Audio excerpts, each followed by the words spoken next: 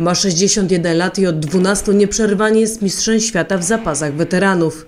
Mirosław Wieczorkiewicz z Jeleniej Góry trenuje 5 razy w tygodniu. W wolnym czasie przekazuje swoją wiedzę dzieciom i dorosłym. Mi szkoda tej, tej mojej umiejętności, mojej wiedzy, żeby zabrać ze sobą, gdzieś spalić to.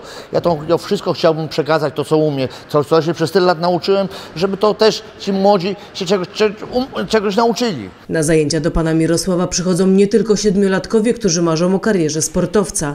Są także dorośli, którzy chcą spróbować swoich sił w zapasach i wszyscy są zgodni co do jednego. Jest to człowiek z charyzmą, nietuzinkowy. Powiem tak, no nie każdy u niego wytrzymuje. Jest godny zaufania, jest człowiekiem, yy, któremu warto zaufać. Traktuje go, można powiedzieć, jak drugiego ojca. Mistrz zaczął przygodę ze sportem, gdy miał 11 lat, bo dokuczali mu koledzy.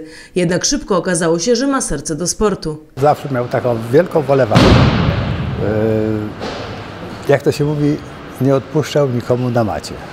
Mimo, że nieraz, jak tutaj dzieci potrafili schodzić z płaczem, to on miał wolę walki i to pozostało do obecnej chwili. Zapasy wyrabiają przede wszystkim charakter. E, Jak, jak każdy sport uczą e, samokontroli, obycia. Walka to nie jest samo tylko to, że, że człowiek wychodzi na matę i walczy, przewraca. Trzeba myśleć, trzeba myśleć, jak tego kogoś przewrócić, jak z tym kimś zaplanować tą walkę. W ciągu 48 lat Mirosław Wieczorkiewicz zdobył ponad 400 medali.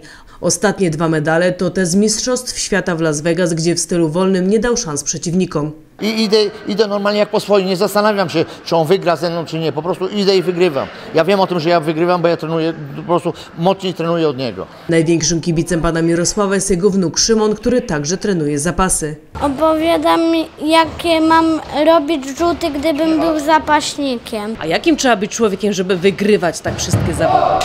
Dobrym i się dużo uczyć. Dwunastokrotny mistrz świata nie zwalnia tempa i już przygotowuje się do kolejnego startu. Przyszłym roku mamy Mistrzostwa Świata e, w Warszawie, już prawie na 100% podbite no, i zamierzam wygrać to. Jednak by porządnie przygotować się do sezonu potrzebne są pieniądze i sponsorzy zarówno dla pana Mirosława, jak i jego podopiecznych, którzy także sięgają po medale.